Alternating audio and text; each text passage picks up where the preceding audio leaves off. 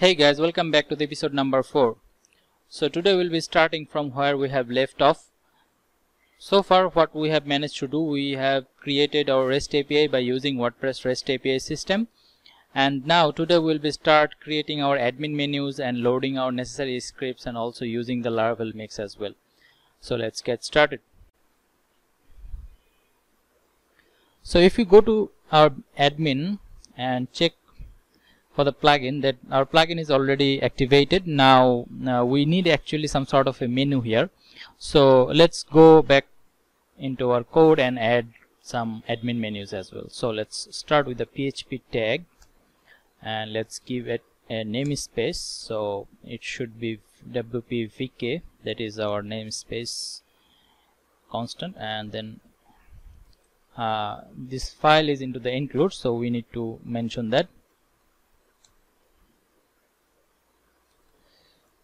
includes. All right then let's name our class. Like admin. All right and into that we need a construct class. So we can say public function uh, not that. Construct like this.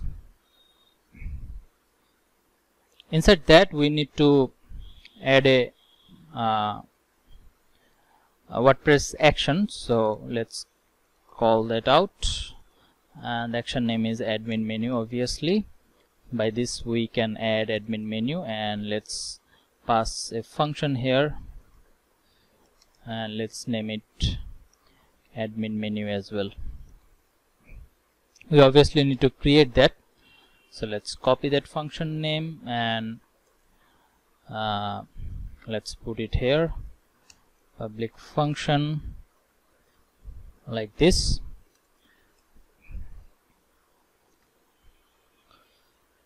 Uh, we have to spell it right not like this admin menu. Okay so here we first uh, let's declare the global variable or take the global variable of submenu. Uh, submenu which WordPress provides in which all the submenu assets has been stored by the WordPress. Let's take some uh, more variables like capability. So our default capability will be manage option manage options like this. And let's take another which will be the slug of our uh, uh, what we can say our plugin plugin settings page right? And then uh, we will call add menu page function that WordPress have by which we can add our admin menu. So first thing we need to mention our label. So w let's say wp Vue kickoff. All right like this. And then we need to pass our domain name. So let's keep that like text domain for now. We'll change it later. And the next thing is also for the labeling. So we can do like that. The third thing we need to pass the capability that is coming from the variable. And then also obviously the slug and then we need to pass the callback function. So we can say menu page template which we will be creating later. Menu page template like this.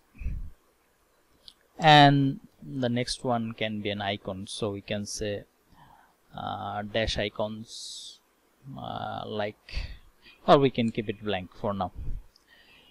Alright and then we will check if the current user have the these capabilities in order to show the sub menu as well. So how we can do that? We can use WordPress function for that. The name of that function is current user can. So current user can uh, obviously the capability. That means if the current user has the capability of manage option then we will be adding some sub menus as well with the slug. And then we will be passing our sub menu label like kickoff. And then the text domain which will be changing later. And obviously then the capability and then the page slug. So the page slug would be admin.php and the page equal to uh, will be slug obviously. And then because we will be using uh, Vue uh, router in order to manage our routing. So we need to pass that uh, pound symbol and the forward slash. So which will be our uh, root URL as you know when you are going to use this Vue things. So in the next one we will be creating our settings page. And the slug should be after that. Let's keep it like settings. All right so these two submenus will be there with the, with our main menu. Now let's add this admin.php into our main plugin uh, init plugin function uh, method here. So you can say new admin like this. And if you install your Vue.js extension for adding these classes we can say like import class like this and if we check it will automatically include our class like this. Okay. So now if we go into our admin area and check for our plugin. Okay. So if we refresh here it should be a menu in our admin. Yes as you can see this is the menu wp Vue kickoff. But if we click on that we might have getting some errors because we do not yes we do not have that uh, template ready. As you can see menu page template is required actually. So let's go back to our code now. And now let's create our callback method that we haven't created. So remember these things will be slightly different because uh, we need to use that few things so into the let's keep it here.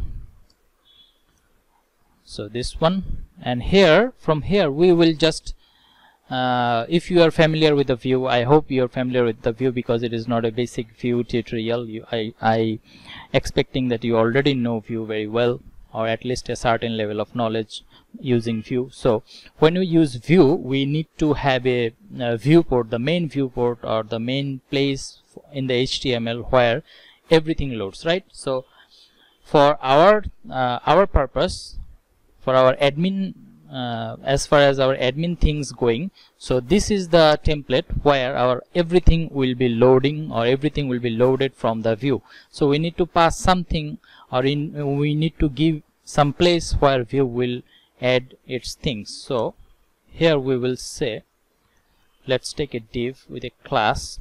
And we all know WordPress have a class of wrap by which it will give you a nice padding.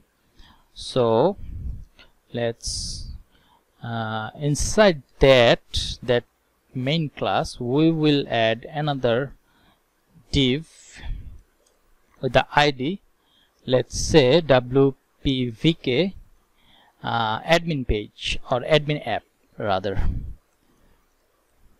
Alright so in the future when we integrate Vue this will be its main uh, point where uh, Vue will load its things. Okay so this is the main place where Vue will live. Alright. Alright. So if now we go back and if we refresh then we should not see this error because we have already loaded our template. So for further check we can say something. If it appears then our function is working as expected. Yes. All right so but for now we will leave it blank because everything should come from the Vue. So into the next episode we will learn how we can use Laravel mix and uh, include our scripts into the plugin. So till then keep watching. See you in the next video